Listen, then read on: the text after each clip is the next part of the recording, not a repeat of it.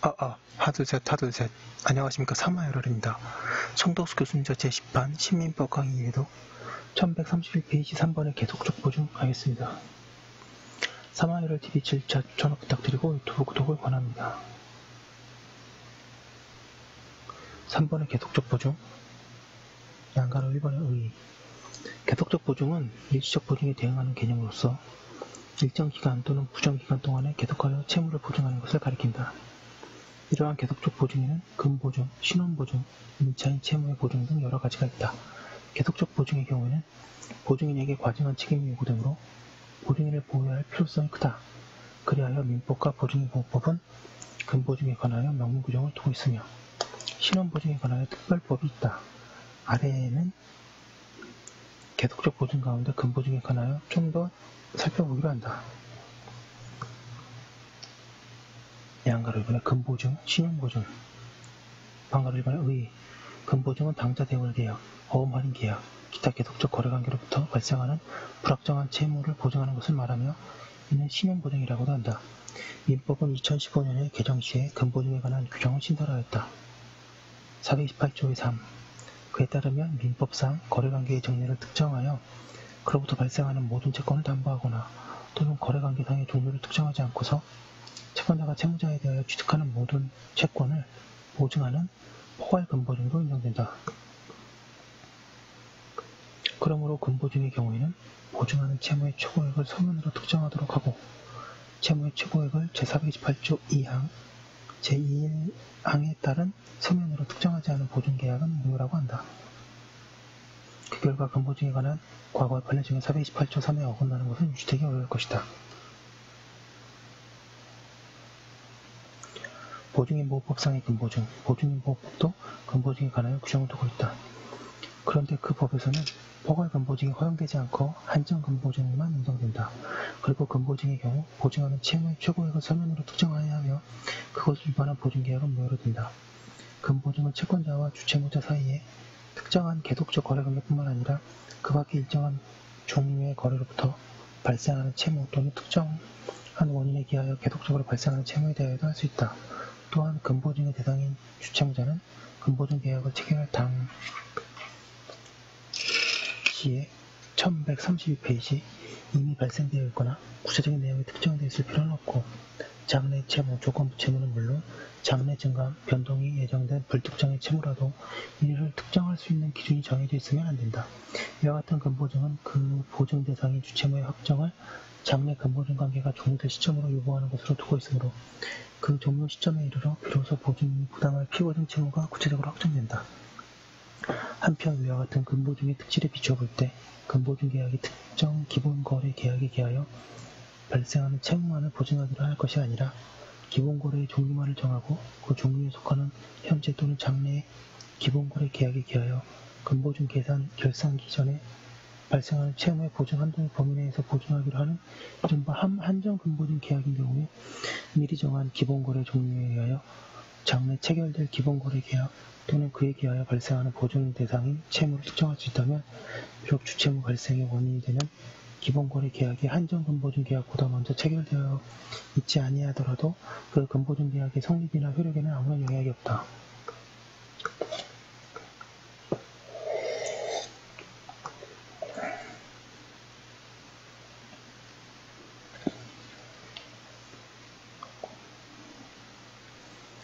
한정근보증 계약은 거기에 정한 기본 거래의 종류에 속하는 기본 거래 계약이 별도로 체결되는 것을 예정하고 있으므로 채권자와 주채무자가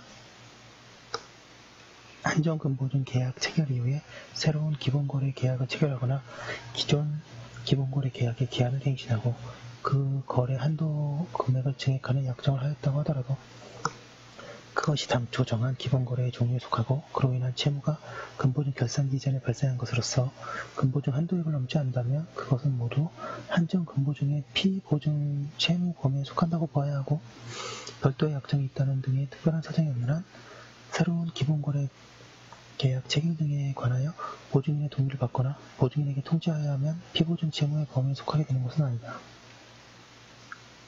반갈 위반의 책임의 범위, 근보증의 경우에는 보증하는 채무의 최고액을 서면으로 특정하여야 하며 그렇지 않으면 보증계약은 무효이다. 그리고 채, 최고액 보증 한도액을 특정한 경우 보증인은 그 한도액만큼만 책임을 지게 된다. 그때 그 한도액이 주체물의 원금만을 기준으로 하는지 여부는 당사자의 특약의 해석에 의하여 정하여지다 특정한 사정이 없는 한 보증 한도의 범위 안에서 확정된 주체물 및그 이자, 위약금, 손해배상, 기타 주체물에 종속한 채무를 모두 포함한다고 새길 것은 아- 새길 것이다. 판례 보겠습니다.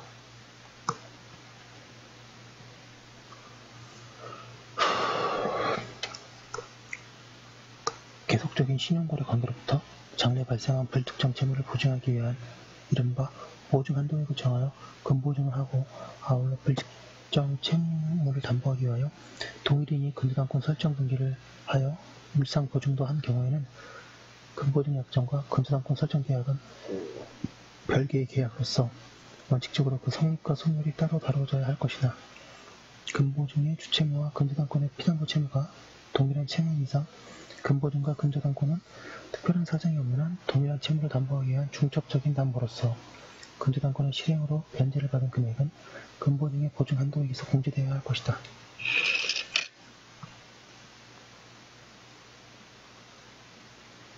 (1133페이지) 양가로 니은의 계속적인 거래 관계로부터 장래 발생하는 불특정 채무를 보증하는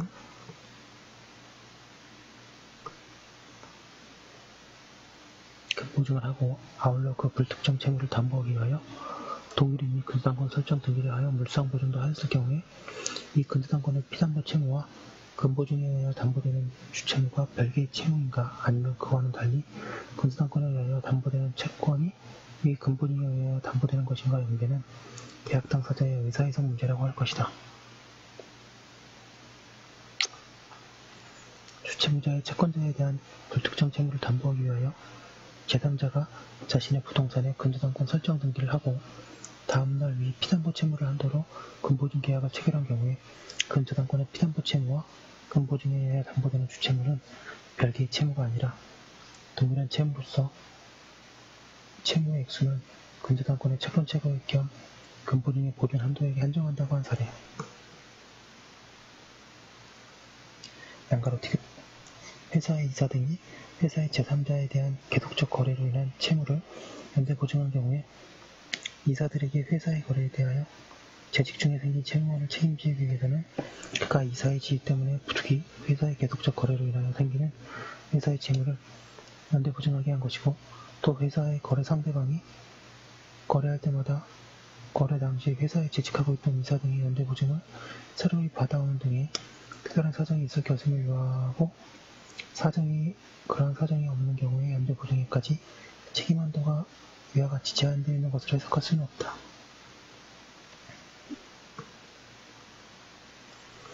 방관 3번의 해지 보겠습니다.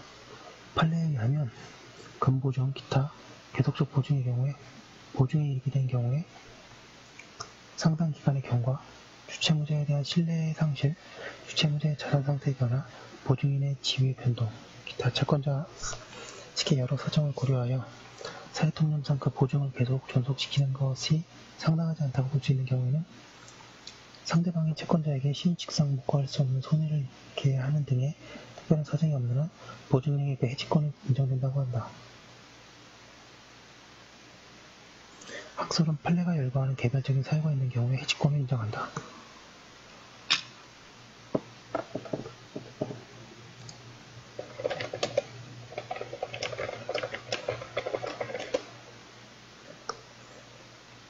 학설은 판례가 열거하는 개별적인 사유가 있는 경우에 해지권을 인정한다. 나아가 학설은 보증계약 성립 후 일정한 기간이 경과한 때에도 보증인은 해지권을 갖는다고 한다. 그러나 판례는 기간을 정하지 않은 계속적 보증이라고 하여 상당한 기간이 경과하였다는 사정만으로 바로 해지권을 인정하지는 않는다고 한다.